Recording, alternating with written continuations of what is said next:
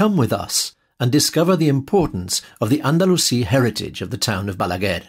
Feel the excitement of prospecting for gold in the river Segre. Taste the liquid gold that is extra virgin olive oil. And try the local wines.